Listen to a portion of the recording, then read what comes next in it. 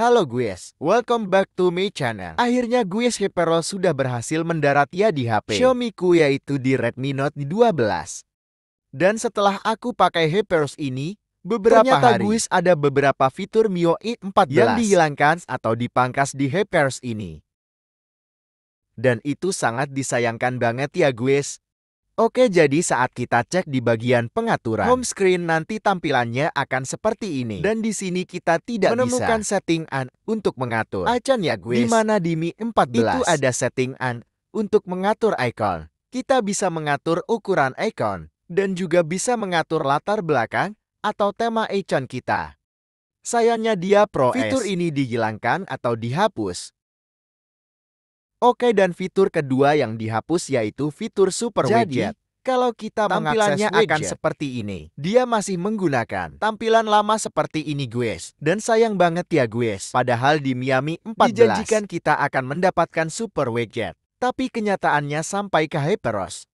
Kita juga masih belum mendapatkan fitur super widget. Terutama di HP.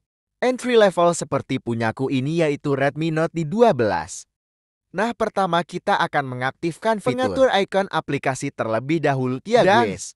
Caranya kita perlu mendownload satu aplikasi terlebih dahulu, yaitu aplikasi peluncur aktivitas. Jadi kita akan mengaktifkan fitur-fitur yang udah dihilangkan oleh dengan Heteros. aplikasi peluncur aktivitas ini guys. Yup, setelah diinstal, di sini kita bisa aktifin terlebih dahulu perizinannya. Kita bisa tap dan tahan pada aplikasi peluncur aktivitas. Kemudian di sini kita masuk ke perizinan lainnya ya. Kita aktifin aja perizinan untuk pintasan layar utama, tampilan layar kunci, dan buka jendela baru sambil berjalan. Oke, setelah diaktifkan, di sini kita bisa masuk ke aplikasi peluncur aktivitas. Kemudian kita bisa langsung aja cari ikan dan SEO. nanti akan ditampilkan seperti ini gue. Kita bisa pilih titik tiga. Kita bisa pilih buat shortcut.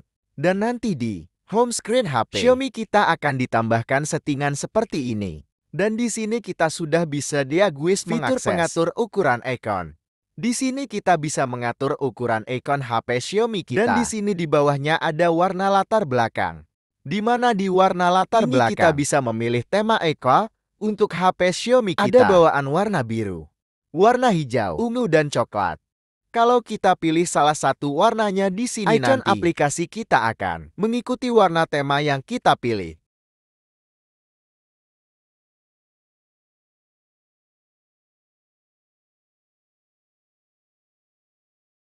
Oke lanjut Kita akan mengaktifkan fitur yang kedua. fitur Super Widget. Oke, pertama kita bisa masuk ke settingan home screen Dahulu kita dan kita masuk ke bagian lainnya. Di bagian layar satu, pastikan di sini teman-teman memilih upvote Kemudian, ya. kita bisa kembali dan kita masuk ke peluncur aktivitas Kemudian kita. di sini kita bisa cari upvote.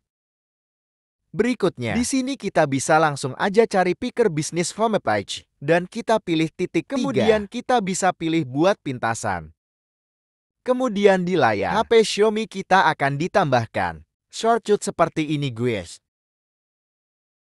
Nah sekarang untuk mengakses super foldernya kita langsung bisa aja pilih shortcut yang udah kita buat dan tadi. di sini akan ditampilkan super widget seperti ini. Pilihannya ada cukup banyak. Teman-teman bisa langsung pilih aja. sesuai dengan keinginan kalian. Nah, untuk menambahkannya, di sini kita bisa langsung aja pilih salah satu widget yang kita inginkan. Kita tap terlebih dahulu, Kemudian guys. di sini kita bisa langsung aja tap dan tahan widgetnya ke bagian home screen kita.